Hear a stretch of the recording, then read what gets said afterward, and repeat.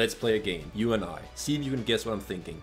I'm thinking of a video game. It has global PvP, massive PvE boss battles, 600 plus champions. I'll give you three guesses, but I'm betting you already know what I'm thinking about. Raid. We all love elves, and Raid's got plenty.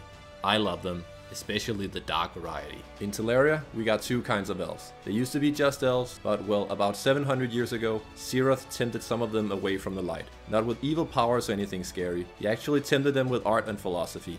When the Arbiter found out they'd been tempted by Sira, she got really worried about Sira's influences and begged the elves to stop. Some did, but others doubled down, and that's where the dark cult stuff started growing. Naturally, it didn't take long for the war to start. The High Elves won, but not in any kind of permanent way. They keep trying to fix the relationship between the High Elves and the Dark Elves, but well, we're 700 years in, and they're not getting along. Time doesn't heal every wound, it seems. If you ask me though, I say the Dark Elves are awesome enough already. They're like a legion of evil assassins and warlocks. Who doesn't love a good bad guy? These guys look really cool. The faction has a lot of variety and design detail. Here's a couple of my favorites. Savior. With this one, I'm really digging the angelic detective vibe I'm getting from the casual overcoat and the dark grey wings. And with a sword in each hand, you know she has style. Visix the Unbowed. I've always loved the mace and shield combo, and with the size of that thing and that mean look in her eyes, you know she won't hesitate to bash your skull in. And there's a ton happening in Raid this month. Special events every day, a bunch of awesome new champions, and the brand new Guardian ring that gives you a load of new ways to use your champions. And at the start of December, Raid's releasing one of its biggest, most anticipated features ever. Take a look at this. It looks insane. With all these new updates and an even bigger one right around the corner, now's the perfect time to get started in Raid. If you wait any longer, you're only gonna get left behind. If you want to get a huge head start in Raid, all you have to do is hit the link in the description or scan my QR code and you'll get an epic hero Chonoru who is amazing in the Doom Tower, 200,000 silver, 1 XP boost, 1 energy refill, and 1 ancient shard so you can summon an awesome champion as soon as you get in game. All this treasure will be waiting for you here. But hurry up, the rewards will only be available for the next 30 days and only for new players. And it's that easy. Just click the link in the description and you're good to go.